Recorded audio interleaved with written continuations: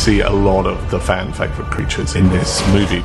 It was very important to me to bring something new with the zombies whilst also making sure we were faithful to the game. What the? We see these people get sick and then start to transform into these horrendous creations. We didn't cast extras, we cast actors, and we really worked on performance.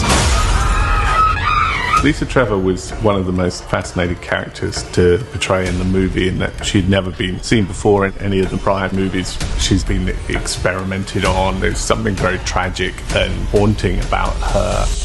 Oh my god. It was great fun bringing the licker to life. It's just muscle and flesh and teeth and this huge long tongue. I think the fans will really get a kick out of all these terrifying creations.